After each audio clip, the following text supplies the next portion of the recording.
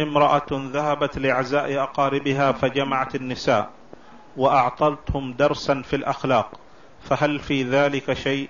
وهل يجوز أن يجتمع الناس؟ امرأة إيش؟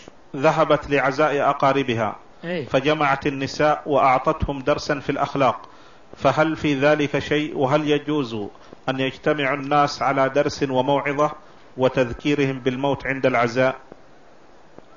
التزام هذا دائما لا يجوز لأن هذا لا دليل عليه التزام أنه يقام درس بعد موت الميت دائما هذا لا يجوز. أما إذا فعل بعض الأحيان إذا فعل بعض الأحيان فلا بأس. النبي صلى الله عليه وسلم لما جاء إلى المقبرة مع جنازة وأدركوا أن القبر لم ينتهي جلس النبي صلى الله عليه وسلم وجلس حوله.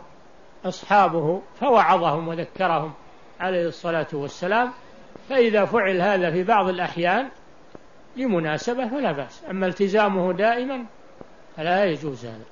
نعم.